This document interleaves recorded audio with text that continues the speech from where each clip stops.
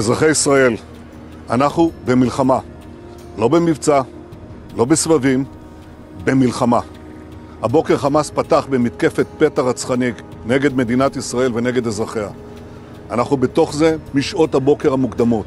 כינסתי את ראשי מערכת הביטחון, הנחיתי קודם כל לטהר את היישובים מהמחבלים שחדרו פנימה, הפעולה הזאת מתבצעת בשעות הללו. במקביל הוריתי לבצע גיוס מילואים נרחב ולהשיב מלחמה שערה בעוצמה ובהיקף שהאויב לא הכיר. האויב ישלם מחיר שהוא לא ידע כמותו.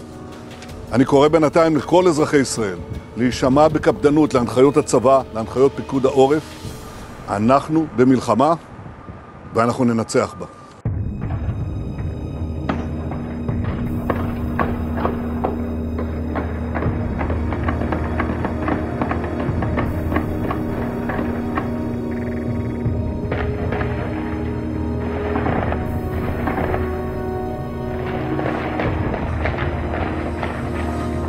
חמאס עשה טעות חמורה הבוקר, הוא פתח במלחמה כנגד מדינת ישראל. חיילי צה"ל נלחמים בכל נקודות החדירה כנגד האויב. אני קורא לאזרחים להישמע להוראות פיקוד העורף ולבצע אותם כלשונן. מדינת ישראל תנצח במלחמה הזאת.